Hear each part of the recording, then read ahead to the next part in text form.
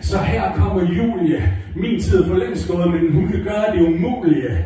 Se, der er rigtig meget sniksnak, men det her det er en tidslinje, der går lidt i zigzag. Så hvis vi har det op og flyve, så starter vi med reformen og etableringen af FE i 2007. Og så er der Blue Ocean, så er der Green Color. Det er flotte farver, der virkelig holder. Og i 14, der kommer det gode blad. Det er heroppe, det er den industrielle hovedstad. Så går det lidt ned. Det er på grund af corona. Det kan I godt huske, der gik vi alle sammen i koma. Så går det lidt op igen, fordi vi gav dem fuel op i hjernen til dem, der er too cool for skole. Ah, men den højeste form for samkøb, det er 2022 DK Maker samstem. Og jeg har stadigvæk mange sider, så jeg håber ikke, der er nogen, der skal nå bussen med bare skrider.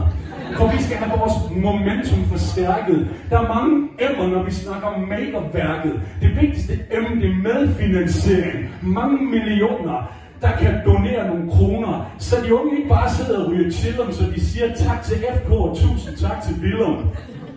Fordi det åbner en masse døre ved hjælp af campusambassadører. Så en god idé, det er, at vi både inddrager og bidrager. 1 plus 1, det er 11, det er 10 for et power. Ah, altså, Marie Anders